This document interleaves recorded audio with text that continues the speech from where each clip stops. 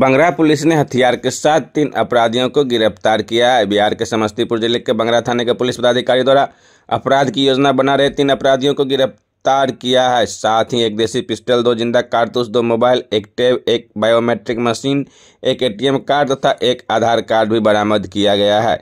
उक्त मामले की पुष्टि समस्तीपुर के अनुमंडल पुलिस पदाधिकारी संजय कुमार पांडे ने किया है। थाना अध्यक्ष बंगरा को सूचना मिली कि शाम को कल कुछ अपराध कर्मी कटिया के पास एकत्रित है या किसी आपराधिक घटना का अंजाम देने की फिराक में है। थाना अध्यक्ष बंगरा मनीषा कुमारी तुरंत अपने फोर्स के साथ वही सत्यापन के लिए गई। सत्यापन के क्रम में वहाँ पर तीन व्यक्ति पकड़े गए और दो व्यक्ति भागने में सफल हो गए। उनके पास से पिस्तौल गोली बरामद हुई।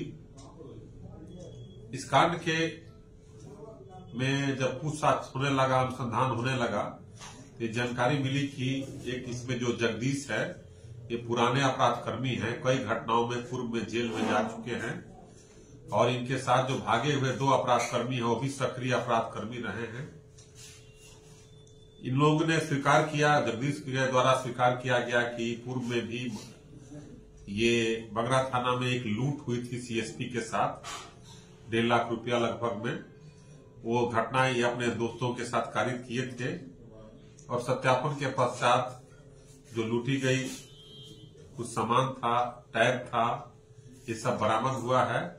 और इस प्रकार एक कांड का उद्भेदन हुआ। और एक घटना जो होने वाली थी, उस घटना को तत्काल पुलिस थानाध्यक्ष और बंगरा के द्वारा रोका गया ये बहुत ही सराहनीय कार्य है और बहुत बहादुरी के साथ ये काम किया गया है।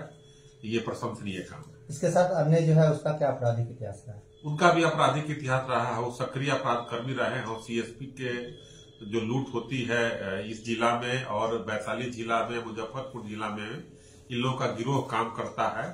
और ये लोग चार पाँच आदमी होता है। एक सूचना देने वाला होता है एक रास्ते में उसको देखता मॉनिटरिंग करता, है, लूटपाट करने वाला एक अलग ग्रुप होता है।